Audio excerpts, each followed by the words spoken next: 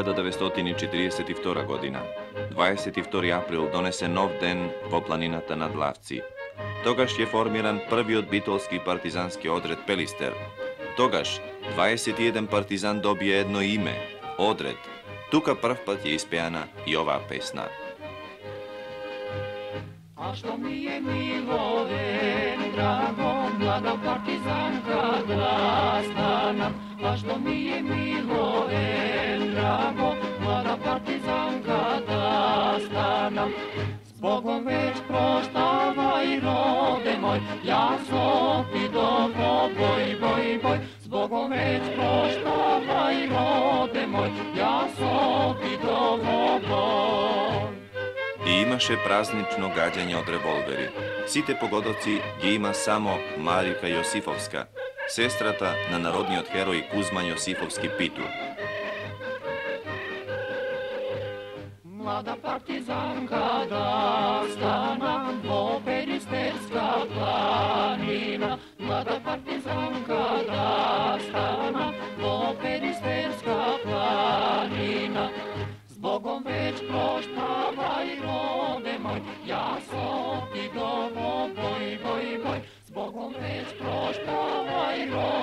moj, ja so ti domo boj. Десетина дни подосна Марика е убиена. Најдобриот стрелец на одредот и најголемиот одмаздик на непријателите.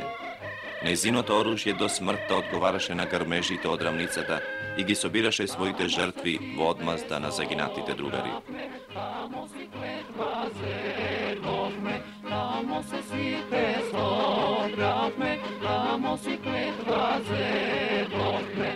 S Bogom reć proštavaj, rode moj, ja so ti davo boj, boj, boj. S Bogom proštavaj, rode moj, ja so ti davo boj.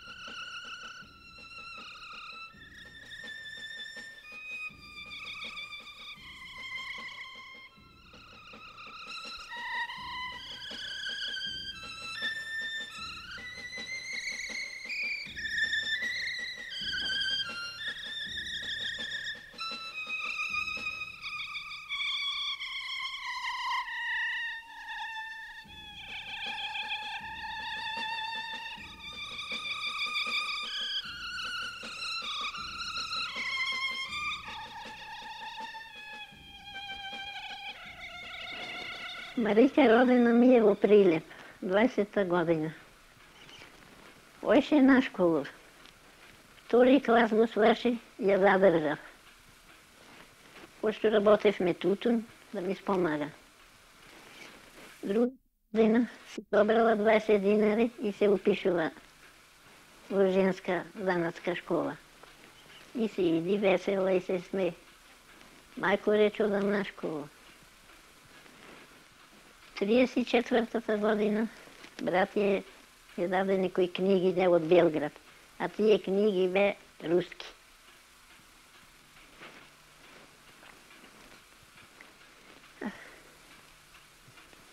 Триеси петтата година требаше да продолжи школото за во Белград. Кузман пошто 35-та се запиша. Не можев да издржам 20 јас Белград да студира. Останата бев вдојца. Што се однесува до Марика, пошто она ми беше мене една од најблиските другарки, да се дружевме од основно школо, па све до, така да кажам, разделувањето 41 година, кога јас заминав за Скопје, она отиде во партизанскиот одред, се разбира. После тоа веќе не се сретнавме, зашто Марика загина Растеше напредна. 22 години таја болест не знаеше што е. Кога учеше заначката школа, многу напредно е беше и везањето шијањето. На помалата сестра ја шиеше алишча. А моли мајко на машина да купиш не преше лошо.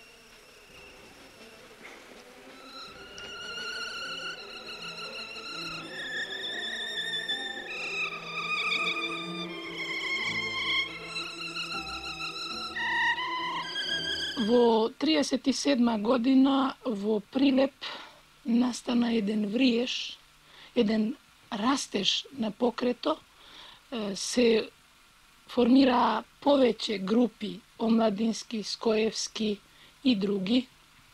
Се формираа разни курсеви за теоретска наобразба на учесниците во покрето, на скоевци, на младинци и други. Во една од тие и такви групи учествуваше и Марика во 37 година и отпочна разни состанци кај незе во куќата. Се разбира се држа и на други места, али и во незината куќа.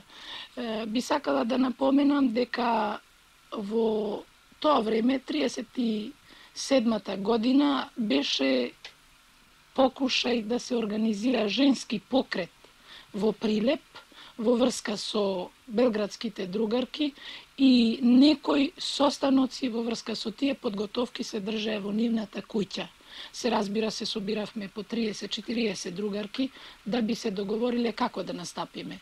Покасно се покажа дека не е можно да се оснива женски покрет и се појде на оснивање на женско омладинско коло при трезвената ложа. Марика беше активен учесник во разните курсеви, Еден од тие курсеви, како прв, беше изучување на политичката економија по сегал, кој што го водеше е, Димче Бојановски Дизе. И тој курс се одржуваше два пати неделно, во сабота на вечер и во недела са бајле. Во сабота на вечер редовно се држеше кај Марика состанак. Јас можам да кажам нешто повеќе за Марика како активен учесник, не само во тој курс, ами и во други такви, каде што се изучуваше организационото прашање на партијата, империализамот како последен стадиум на капитализамот и уште низ други такви, кои што фактички служат за припремање на младите луѓе за во партија. 40 година во април месец Марика е примена во партија ја прими Мирче Ацев и одма ја земена во местниот комитет на Ској. Се разбира, примена е во партија и во местниот комитет врз база на незината многу голема активност. Таја не само што беше активен учесник во разни групи каде што се изучуваше теорија, ами и самата водеше такви групи каде што се изучува пак други работи, на пример изучувањето на друштвениот развиток по Раймес. Поволгин и други. Имам а, вака една епизода кога влезе во партија Марика, бидејќи бевме толку блиски и неразделни, дури се случи тоа да во младинското коло еднашка направија виц на зидните новини, не закачија на слика со е, безопасна, колку сме блиски. Влегувањето во партија, незино и во Скоевски местни комитет доведе до тоа да треба сега да има е, разни тајни и меѓу нас двете. Наиме, групи кои ги водеше Марика или јас, веќе не може да биде познати и на мене и на Незе. Се случи еднашка да одејќи кај Незе за да се излезиме вака приватно на Корзо да прошетаме, најдов во нивната куќа состанак. Се качив, нивната куќа е со едно чардаче, се качив на чардачето, чукам на врата, никој не отвара, а гледам дека има некој. Се помакнав малце, погледав од пенџерето, видов дека Марика држи состанок со групата. Они да би се скриле од мене, да не би ја случајно дознала, то беше така во тоа време, многу важна беше конспирацијата, полегнаа сите на подо, под масата да не би ги видела. Се разбира, јас ги видов се пак, али си заминав, ги оставив и после никогаш на Марика не испомнав тоа, дека ги видов. Она знаеше дека јас ги видов.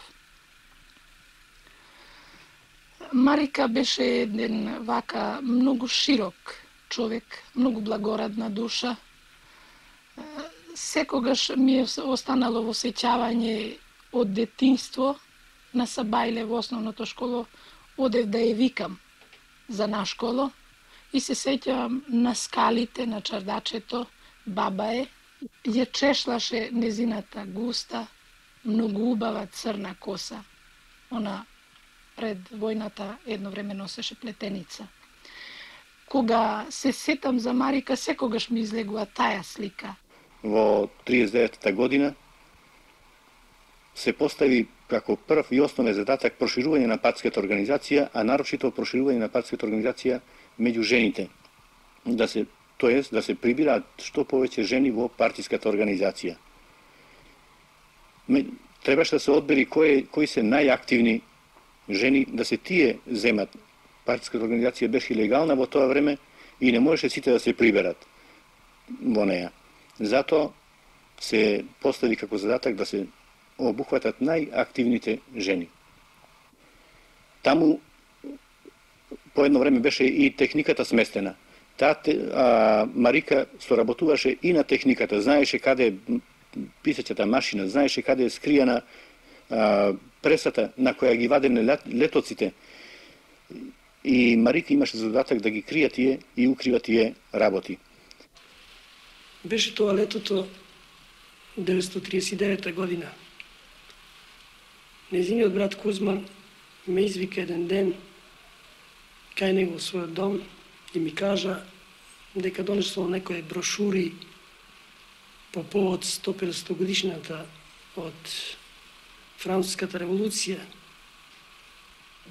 и дека би требало еден дел од овие брошури да ги однесам во Крушево, бидејќи тој знаеше дека ќе оди една група од нас таму од форма нели на одмор, ствари за развивање на револуционарна дејност.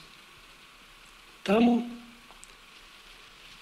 тогаш беше присутна и Мара. Таа веќе беше прочитала книгата. И онака наивно револтирана се искажа Кузмане, Па до кога вака ние ќе стоиме без, действи, без действување? Кога ние ќе завземе и ова наша бастилја? Кузман секојаш одмерен, сталожен, си рече, Маро, сестро, има време. Точно ние се најдуваме во тој период биди стрплива и тој ќе го дочекаш. Мара со изванредна вештина, неустрашиво, се, се пикаше во секоја на порта, кај гледаше некој пенџер и таму фрлаше. На едно место се запре таја, влезе во една порта и ми рече овде куќата е птен внатре во дворот, а таа не сакаше само пред порта да фрли леток, него да убо на скалите го ги остае тие. Влезе внатре, а јас чекав и внимавав да не најде од некоја страна некој од овие стражарите тогаш, општински или некој джандар. Но помина прилично време, веќе јас се вознемирив, сметав дека нешто стана со Мара. И веќе бев готов да влезам натре да видам што е што се случило. Во тој момент она излегува насмеена. Вика, знај што?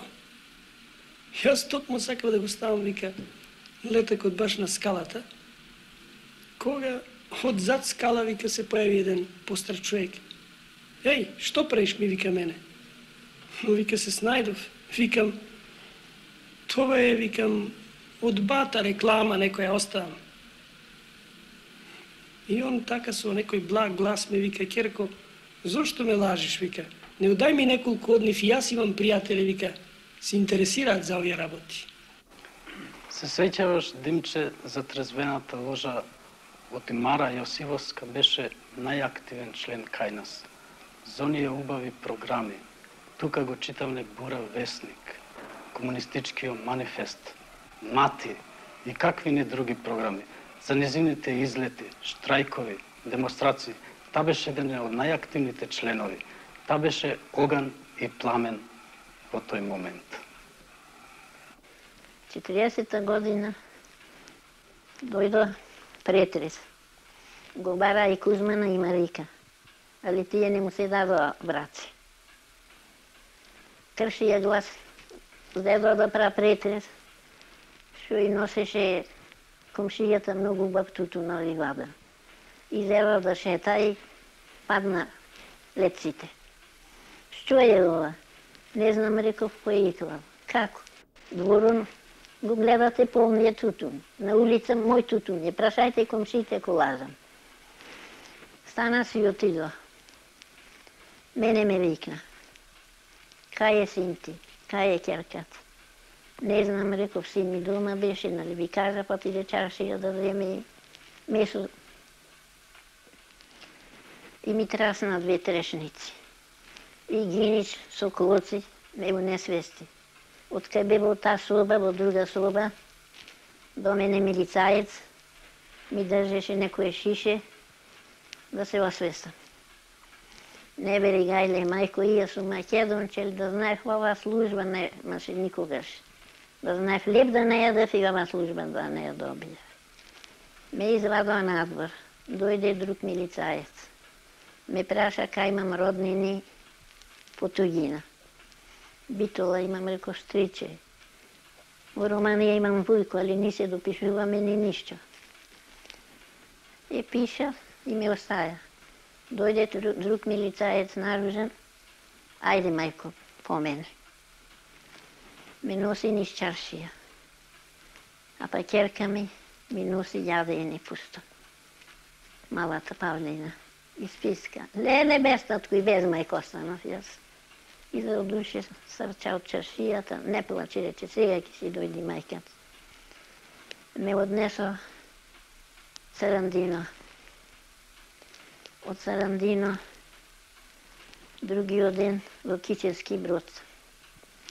Во Кичевски брод ме држа таму 10 дена.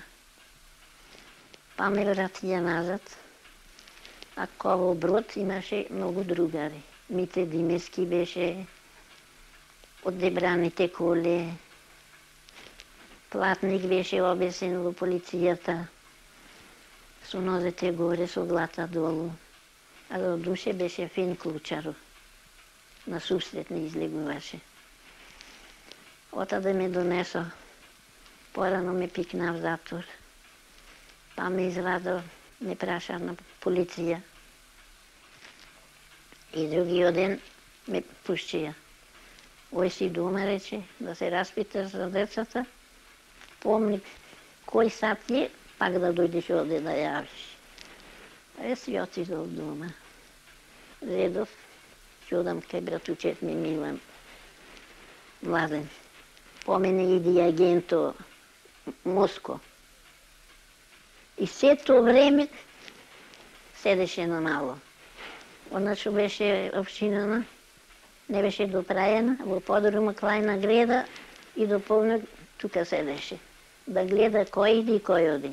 А Милан никоја вечер не, не остае. Не бери гајле тетко, јас косум.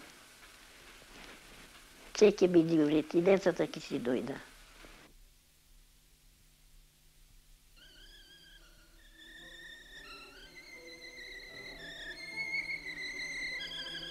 Децата беа на сигурно место во куќата на тетка Манда или во куќата на Методија Бањарод. Која е забрка ми полицијата Марика. Така. Стана отиде дома, после не можеше каде да се скрие. Шо правиче? Се префарли кај вас. Од кај вас не се можеше и тука, отиде кај вас каде мејца. Од кај вас каде мејца, отиде кај мајка ми. Дента седеше кај вас каде мејца, а па вечерта ја несо кај мајка ми. И по еден ден два, дојде известчај, вера цела и Васка Церивери, да се дигни Марика, Така беше. да се однеси во тројкасти. Е, прат сега, дојдува син ми со на кола во Лорска, ја зема Марика од пиварана. Марика скриена во пиварата, Верацева и Васка Циривири во доло, скријани. Така беше. Така. И го светува овој Канчевци Асперов. Асперов од Ванка. Како беше ли Киро беше? А, Асперов. А, да. Беше офицер. Так, так, так. Го светува ки Асперов му вели карди шладо, се не говори, че ќе го продавам. Ами рече, отиде, че не го продаде. Не би дадал, рече, колку што сакав. Ами рече, што ти дошол во пиварава? Е, рече, купувам пиво.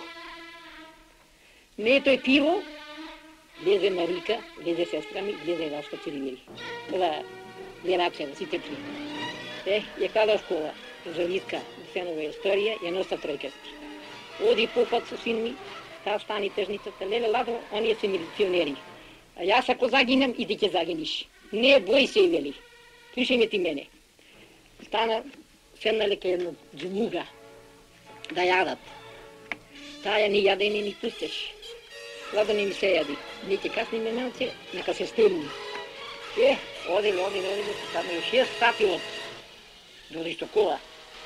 Од Битола, А, и после од тука си дојде нојта. Си дојде нојта, кога ми 10 сато беше. Е, како јас, како мајка, како чедо мујеше, да сам го гледала тука, си избакнал, не се стори, да плачам, мотива да блакам. Ти, Господи, че те команда, ако загинем, од кај тебе ќе загинем. Ако загинеме, рекол Марике, ние целата фамилија, па ти да загинеш. Да, тој рече тетка Манда. Готови сме сите за да те спасиме. А потоа на барање на организацијата Скришум ја однесоа во Битола како божемна лекар и таму Марико останува во илегалство до доаѓањето на бугарите.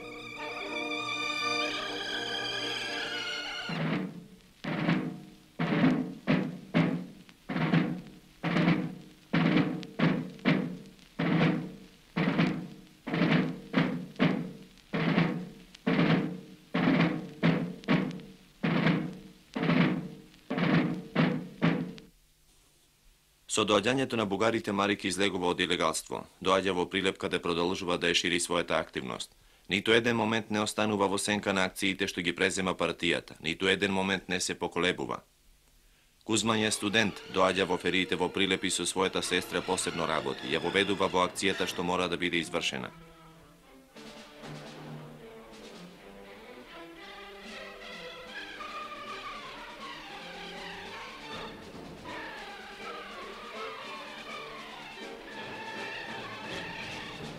Овде, по оваа куќа, Кузман и го приближуваше марксистичкото учење. Во навечерието на војната активноста на Марика се зголемува. Во сите акции работи како партиски човек и организатор, без пропуст, без грешки и без да падне во раците на полицијата. Откако на 11 октомври на участокот 11 востанички пушки дојдоа во отворено судирање со окупаторот, на 12 октомври целиот град беше под блокада. Во куќата на Марика пак е претрес. Полицијата е бара неизе. Таа им побегна. И ден-два потоа оди во Прилепскиот партизански одред, овде на Дервен. На 8 ноември една група партизани требаше да слезе во селата, да им се приближи на луѓето, да го покаже своето постоење и оправданоста на својата борба и за неја да ја побара нивната поддршка. Марика со уште неколку другарки доаѓа во манастирот Степанци.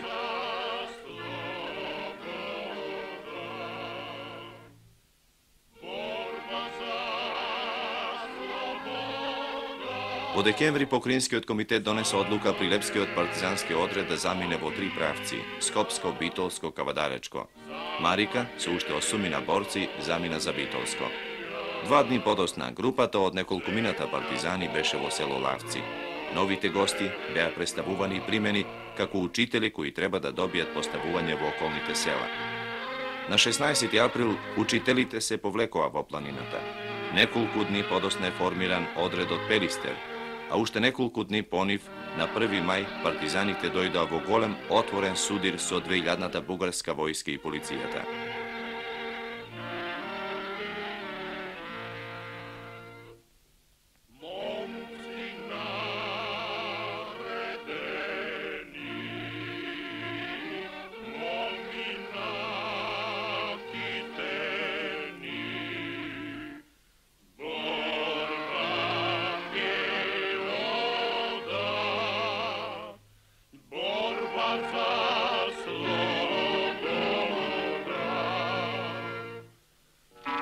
Потера долга два дни, гонети од окупаторската војска, партизаните доаѓаат над Буково. Дојдоа само 12 мина партизани. Другите, што слегуваа во патрола, беа голтнати од блокадата. 12 партизани повојкувани да се предадат не се предадоа. Еден гнев и една љубов се исполнуваше во енергичноста на барањето да биде овозможено постоењето така како што е дадено, слободно. Другарката Мара Јосифовска, која јас, кога реков за друга Розагина и бев готова да заплачам, она ме охрабри, Тоа е борба, мораме храбро да се држиме, никакво плачење, ќе гиниме и храбро со дигнати глави ќе одиме. И мене цело време тие зборови ми звучаа на другарката Мара и тој лик никогаш не можам да го забравам. И не оде длго време, јас бев ранета и саоштив на другарката Мара, само храбро пак ми рече и само што тоа го завршивне тој разговор, незе е ранија. Така тешко е ранија да другарката Мара траеше помош да ја помогнам да да се прекрати живото незин. Јас тоа јасно не можев да го сторам и така другарката Мара како се мачеше, легна преку мене и така издахна.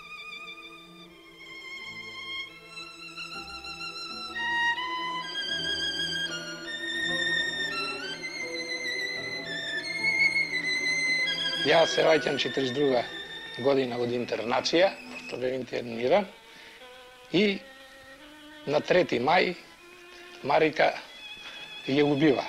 Пошто јас бев член на местниот, коми... на местниот комитет и се разбрати таму имало неко за загинале другари и другарки. И мајка еден ден ми вика, абре Мара да не е загината, мајко рекоуше, не знам ќе ти кажам. Другиот ден ева Паста сидам дома, што направи? Рече, слушна ве, аз кажува, оти некоја другарка отепале, некоја била ранета и почнала да кажува. Рече, ако е Мара, порно рече, да ја отепале, да не земат други другари и другарки надуша, тогаш јас ја прегарнав, мајка реков, Мара е убиена.